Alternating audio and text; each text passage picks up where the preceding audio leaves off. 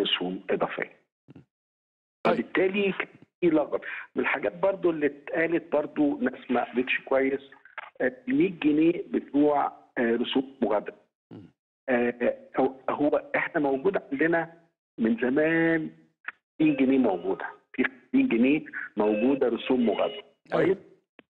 فاللي حصل إنه أنا آه، ال 50 بزودها ل 100 ما عدا خمس محافظات آه، الأفواج السياحية بتجيها اللي هي آه، الأقصر وأسوان جنوب سيناء البحر الأحمر مرسى مطروح آه، فبالتالي مش هت... يعني زي ما هي ال 50 جنيه اللي موجودة بقى لها فترة طويلة هتظل هي 50 جنيه.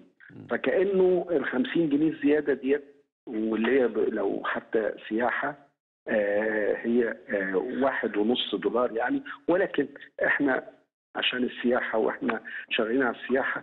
قلنا المناطق اللي فيها سياحة زي الخمس محافظات اللي قلتهم ما هم ال 50 جنيه اللي موجودين بقى لهم فترة طويلة آه، عشرات ودول. بيدفعوا ضمن ثمن ضمن التذكرة. تذكرة طيارة. آه. ضمن تذكرة ثمن تذكرة الطيارة. عشان كده ناس كتير ما كانتش عارفة إنه كان في 50 جنيه في الأول.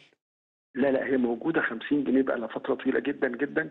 فإحنا قلنا طيب ما ال 50 جنيه اللي بقى لها فترة طويلة جدا ممكن نخليها 100 بس طبعا عشان السياحة قلنا تظل 50 جنيه.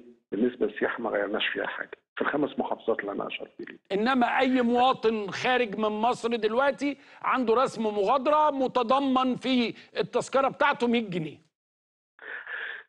لما يقر. لكن هو النهارده في 50 جنيه اوريدي بيدفعها بقاله عشرات السنين أيوة. ضمن تذكرة ال- هي ناس كتير ما كانتش عارفة كده ففاكرين إنه ال100 دي جديدة يعني فهو الجديد في الأمر 50 مظبوط جدا الجديد في الأمر 50 طيب هنيجي نقول طيب هو إيه إيه الزيادة؟